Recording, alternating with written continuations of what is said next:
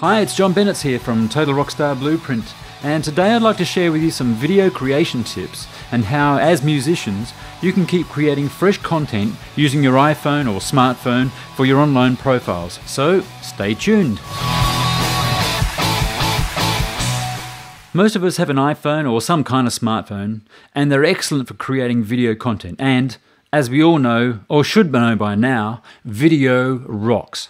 When we're creating video content, we do need good quality video and audio. So I'm using an iPhone 5 and I'm finding the quality of the pictures and the videos more than adequate for most of my online uses.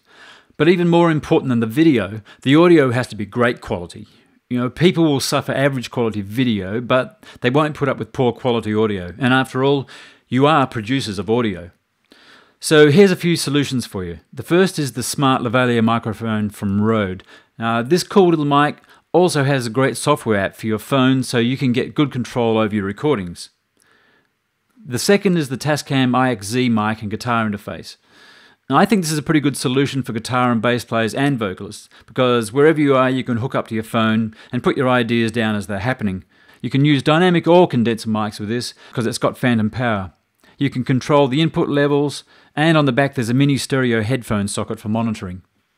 So, one idea for producing content is to interview your fans after gigs, and you can use this to get their direct feedback.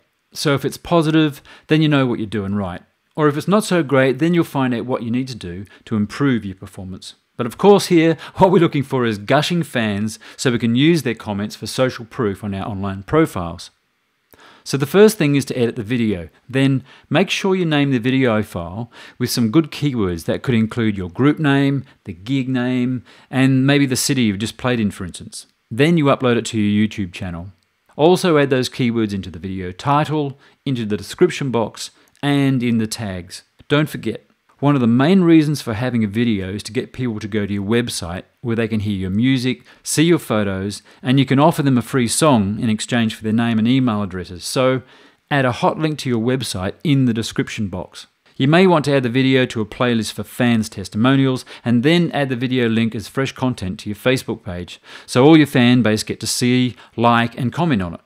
Later in the week, Maybe Thursday would be a great time to embed the video onto a blog post on your website with a few extra photos, and then you can promote that post on Facebook so you can get even more mileage out of it.